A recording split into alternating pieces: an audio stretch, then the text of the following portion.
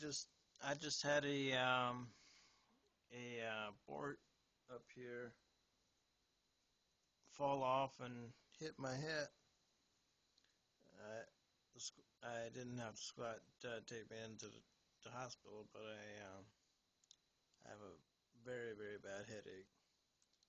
Um, well, talk to you guys later.